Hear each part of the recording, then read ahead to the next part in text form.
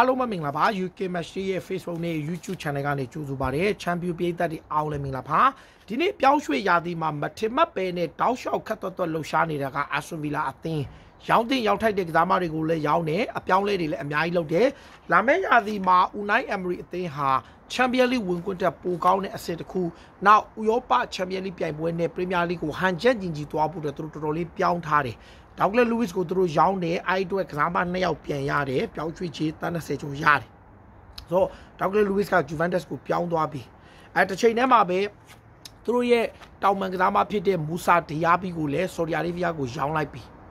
ဆိုဒီကလပ်အဟီတီဟက်အသင်းကသူ့ကိုခေါ်သွားတယ်။တနေ့လောက်ခလာစာယူရို15တန်းပတ်ဝန်းကျင်လောက်နဲ့ခေါ်ပြီးတော့ပြောင်းရွှေ့ခြင်းတန်း90ဆိုတော့ဒေါက်တာလူဝစ်ကနေသူကစားမ2ယောက်ရပြီးတော့တန်း30ကျော်ရတယ်။အခုလက်ရှိမှာဒါနောက်ထပ်ကစားမတစ်ယောက်ကိုတန်း90နဲ့ရောင်းပြီးတော့တန်း80သူတို့ရထားပြီ။ခါလန်ချိန်ပါကိုသူတို့ထွက်ခွာခွင့်ပေးထားတယ်။သူတို့ဂျွန်ဂျရန်ကိုသူတို့ရောင်းဖို့ပြင်တယ်ဂျေကော့ရမ်စီထွက်ဖို့ပြင်နေတဲ့အချိန်မှာအာဆိုဗီလာအသင်းကအခုလက်ရှိမှာ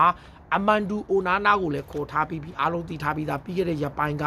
Everton ကွင်းလက်ကစားမဒါ Belgium ရဲ့ Everton ကွင်းလက်ကစားမအမန်ဒူအိုနာနာအသက်22နှစ်ပဲရှိတယ်။ဒေါက်ကလက်လူးဝစ်က26နှစ်ရှိပြီ26နှစ်ကစားမကို22နှစ်ကစားမနဲ့လဲပြီးတော့တန်း90သူတို့ ပေးလိုက်ပြီးတော့အခုအမန်ဒူဦးနာနာရောက်ပြီးအဲ့ချိန်မှာအက်စဗီလာအသင်းကနောက်ထပ်မထင်မှတ်တဲ့ signing တစ်ခုလုပ်ထားတယ်အဲ့ဒါကတော့ signing တော့မဟုတ်သေးဘူးလေအခုလောလောဆယ်မှာအက်စဗီလာအသင်းကဆက်သွယ်ထားပြီးတော့ခေါ်ယူနိုင်ဖို့တေချာပြီးတော်တော်လေးအခြေအနေကောင်းတာက Joao Felix ဒါအက်တလက်တီကိုမက်ဒရစ်အသင်းနဲ့ဒါတောင်ပန်ကစားမဖြစ်တယ်ပေါ်တူဂီကစားမဖြစ်ပြီးတော့ ဘာဆိုနာအသင်းကိုပြီးခဲ့တဲ့ရာသီတုန်းကအငှားနဲ့တွားကစားတယ်သူပရီးမီးယားလိမှာချယ်ဆီရှိမှလည်းအငှားနဲ့လာကစားဘူးတယ်ဒါပေမဲ့သူ့ရဲ့ယော်ဂျီသူ့ရဲ့ပြောင်းရွှေ့ခြေကတန်း80 80လောက်ရှိတဲ့အတွက်ဂျွာဖီလစ်ရဲ့အပြောင်းရွှေ့ပြက်ပြဲတဲ့အချိန်မှာအခုအက်ဆွန်ဗီလာအသင်းရဲ့နီးပြဦးနိုင်အမေရိကဂျွာဖီလစ်ကိုလိုချင်တယ်အဓိကတော့ DRB ထွက်သွားတဲ့အတွက်ကြောင့်တောင်ပန်မှာဒါဘယ်လိုပြောမလဲဆိုတော့လင်ဘေလီတယောက်ပဲရှိတယ်ဂျွာဖီလစ်ကတကယ်ကိုအားကိုးရမယ်သူဖြစ်တဲ့ကြောင့်သူသဘောကျတော့ဂျွာဖီလစ်ကိုလိုချင်တယ်ဖီလာကသူ့ကိုတရားတည်အငှားခေါ်ပြီးအပိသက်ဝယ်တာပဲဖြစ်ဖြစ်ယူရိုတန်း60နဲ့80ကြားရောက်ရင် 60ကျော်80လောက်ရရင်သူကလည်းလိုချင်တယ်ဂျွာဖီလစ်ကအခုလက်ရှိမှာသူ့ဘွားအတွက်တော်တော်လေး lowest point ဖြစ်တယ်ဘာလို့ဆိုတော့ပေါ်တူဂီလေဝေးစင်အသင်းရဲ့တကယ် crucial penalty ကိုသူလွဲချော်လို့ပေါ်တူဂီမီဒီယာတွေနဲ့ကစားမတွေပြည်သက်တွေချားကနေ criticize လုပ်ခံရတယ်အဲ့လိုအချိန်မှာသူကကိုပါအမေရိက final ဖြစ်အာဂျင်တီးနားနဲ့ကိုလံဘီယာပွဲမှာသွားကြည့်ပြီးတဲ့နောက်ပိုင်းမှာပြည်သက်တော်များများသူ့ဝေဖန်နေတဲ့အချိန်မှာ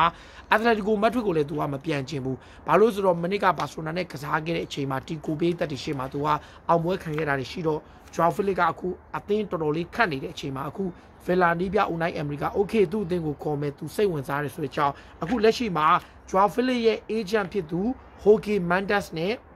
တစ်ဖက်ကအာစတွန်ဗီလာအသင်းနီးပြ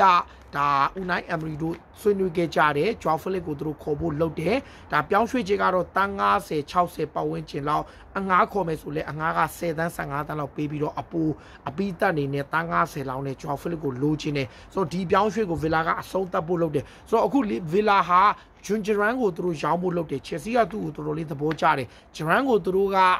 15 တန်မို့ sorry တန်30 35တန်ပတ်ဝန်းကျင်လောက်သူတို့စဉ်းစားထားတယ်ဒါ Aston Villa ရဲ့ကိုလံဘီယာလူငယ်တိုက်စစ်မှုဂျွန်ဂျရန်ကိုသူတို့ရောင်းဖို့စဉ်းစားနေတယ်ဒါဂျွန်ဂျရန်ရှိတယ်ဒါအခုလက်ရှိမှာ Jacob Ramsey ကို Spa ကတော့ထက်ကန်လာနေဒါဒီ Giovanni Lo Celso plus ယူရိုတန်ပေါင်တန်30ဒါပေမဲ့ဗီလာကတန်30လောက်ထိလိုချင်တယ်လိုဆဲဆိုကိုဦးနိုင်အမေရိကကြိုက်တယ်